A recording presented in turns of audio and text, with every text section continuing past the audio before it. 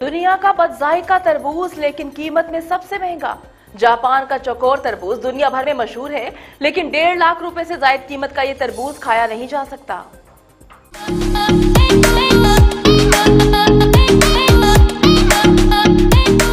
जापानी कस्बे ताकामात्सु के काश्तकारों ने अपने इलाके को मशहूर बनाने के लिए आज से तकरीबन 50 साल पहले वहाँ अजीब गरीब तरबूज उगाने शुरू किए, जो आम तरबूजों की तरह गोल नहीं, बल्कि चौकोर होते हैं।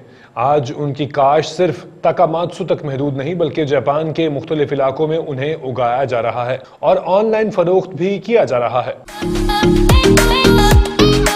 ये मुनफरद तरबूज ना सिर्फ़ जापान की शनाख्त बन चुके हैं, बल्कि इतने महँगे हैं कि ऐसे एक तरबूज की कीमत सोलह हज़ार पाकिस्तानी रुपए से शुरू होकर एक लाख साठ हज़ार पाकिस्तानी रुपए से भी ज़्यादा जा पहुँची है। और इस पर मज़े की बात यह है कि इतनी कीमत अदा करने के बावजूद खरीदार इस तरबूज को खा नहीं सकता, बल्कि सिर्फ़ ड्राइंग रूम में सजा सकता है।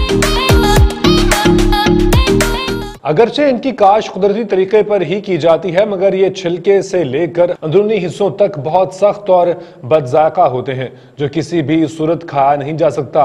अगर आप भी जापान की अनोखी सौगात खरीदना चाहते हैं तो इंटरनेट पर आपको कई ऑनलाइन स्टोर्स मिल जाएँगे।